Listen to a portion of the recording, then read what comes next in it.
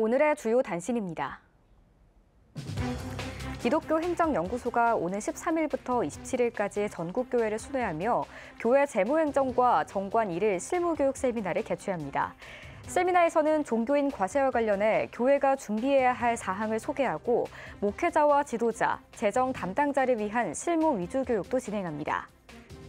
캄 선교회가 영화 부흥 제작을 위해 모금한 후원금 1억 3천만 원을 제작팀에 전달했습니다.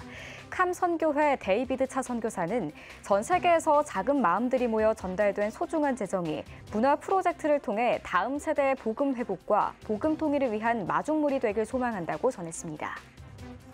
월드 휴먼 브리지가 오는 16일 임산부들을 위한 모아 사랑 음악회를 개최합니다. 음악회에는 밀레니엄 심포니 오케스트라를 비롯해 국내 정상급 연주자들이 참여해 다양한 공연을 선보입니다.